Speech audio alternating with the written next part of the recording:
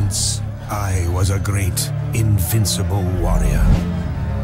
and no one dared to stand in my way. I traveled the land searching for a worthy battle until I discovered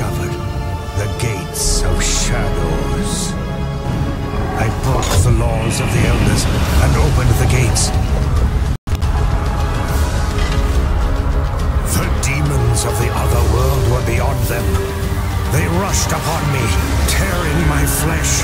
draining my soul, turning me